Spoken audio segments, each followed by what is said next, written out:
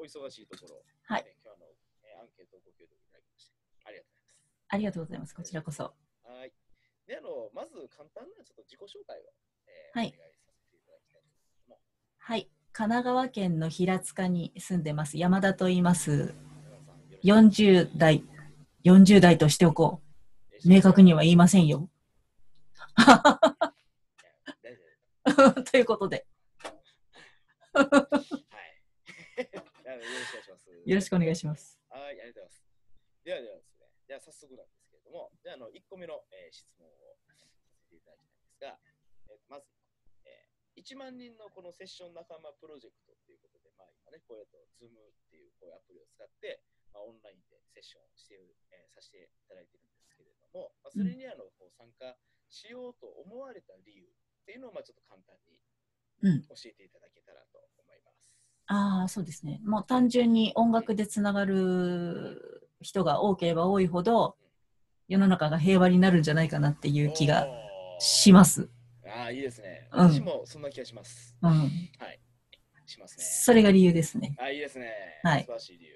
はい。私私もそう思います。ねえ、音楽やってると楽しいですもんね。それ、うん、それそれ。それな。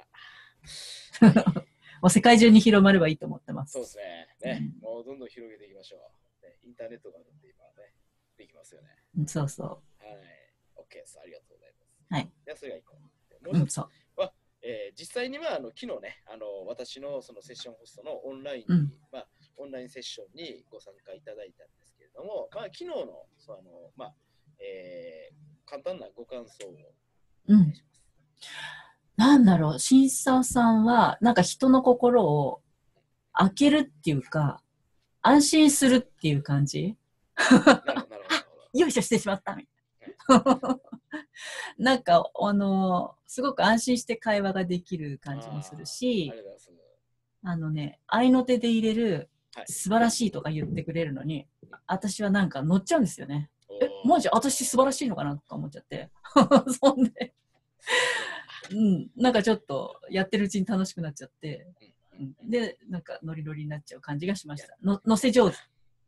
やった。いや、いいっすね。でもね、素晴らしいから素晴らしいって言ってるんで、私は。そうなの。はい。はい、そうですよ。人を楽しくさせちゃうっていう感じです。審査さんは。ありがとうございます。ありがとうございます。まあ、そんなご感想を、ね、いただきまして、私は光栄です。いやいやいや、みんな思ってると思うよ。ああ、そうやったら嬉しいですね。うん花粉症じゃなくても涙が出そうです。はい そうだったんだ。そうだ。はい本当楽しくて楽しくて。置い。とい。て、ね、ありがとうござい。ます。ありがとうござい。ます。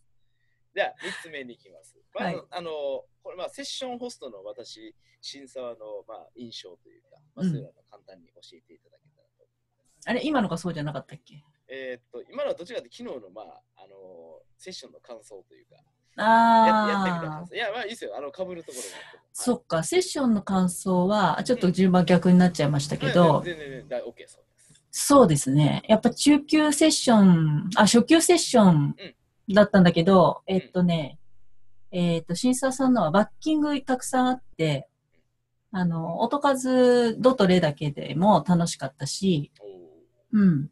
あの、レミとかね、三つの音だけでも、すごくいろんなバージョンがあって、うんうん。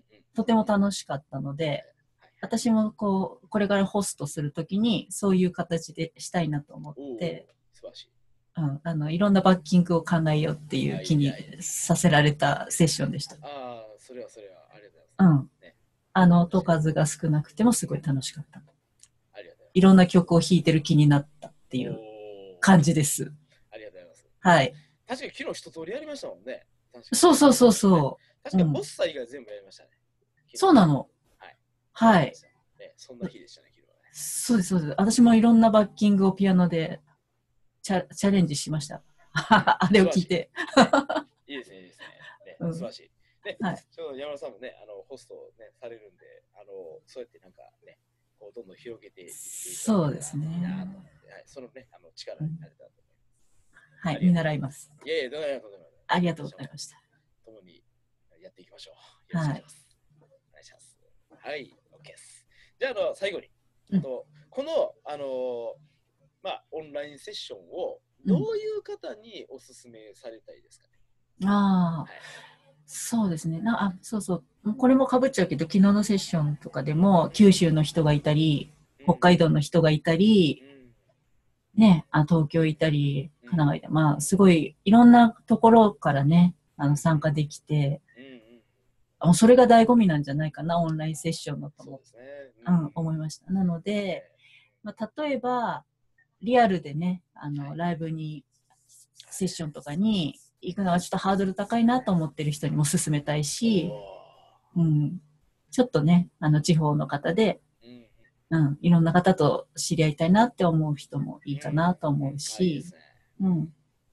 まあ、そういう方に勧めたいですね、ぜひね。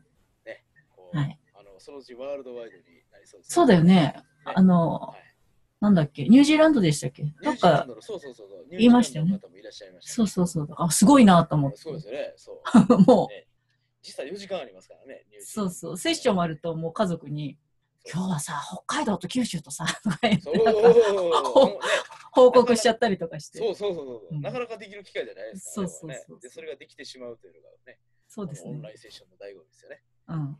なので、いろんな人とあのつながりたい人におすすめです。ああ、いいですね。ね、いろんな人とつながっていきましょう。はい。ね、みんなで。ありがとうございます。はい。ね、今日のお忙しいところ、ああ、いえいえいえ、とんでもないです。ご協力いただきまして。はい。ありがとうございました。はい、ありがとうございます。